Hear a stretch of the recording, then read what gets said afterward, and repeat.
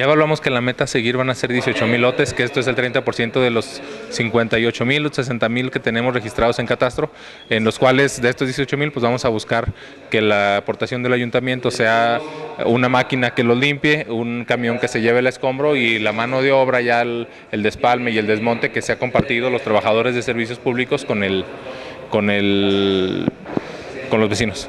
Inversión aún no la medimos en función de que primero se va a hacer el empadronamiento de estos 18 mil, cuáles este, sí tendremos que intervenir o cuáles será con la intervención directa del propietario. Una vez que se le hagan los exhortos, o sea, primero se va a cumplir con un procedimiento básico legal de exhortarlo a que limpie su terreno, al de no hacerlo ya intervendremos nosotros. Bueno, afecta aparte en la situación de seguridad, afecta en la plusvalía de los bienes, afecta en la dispersión de la ciudad, que